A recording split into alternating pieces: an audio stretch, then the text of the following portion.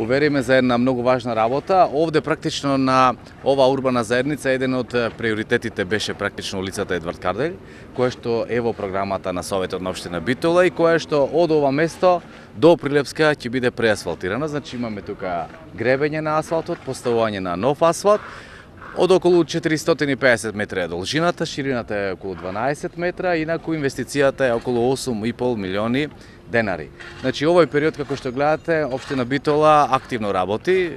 Градежната сезона ни овозможи да бидиме на вистина максимално ефикасни. Е, сега се разбира дека онаму каде што имаме посложени интервенции, тоа не оди толку брзо како на улицата Едвард Кардель. Мислам дека денеска ова е голема придобивка, затоа што и оваа улица, Едвард Кардель, е практично една од поголемите и поглавните сообраќајници блиску или веќе можам да кажем во централното градско подрачје и ни овозможува нормална фреквенција на автомобилите и на нашите пешаци. Вие знаете дека во овој дел, а посебно во долниот дел меѓу Иван Милутиновиќ и улица Прилепска, тоа беше навистина максимално а, за реконструкција и благодарение на нашите јавни предпријатија, значи кои што се вклучуваат во ваквите активности, посебно во доменот на а, своите се разбира функции како што е речиме нискоградба, па и останатите и водовод и комуналец и останатите во зависност од проектот се вклучуваат максимално.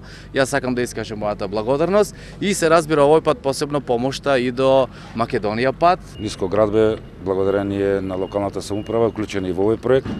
Значи да помена граначалникот Едвард Кардел во должина 450 метра, ширина 12 метра, тука ќе направиме сите подземни инсталации а на вториот дел од Иван Милутинович до Прилепска имаме интервенции на зелените површини кои ќе ги обновиме со нови вичњаци и се разбира и ново хортикултурно уредување заедно со ЈП Комуналец.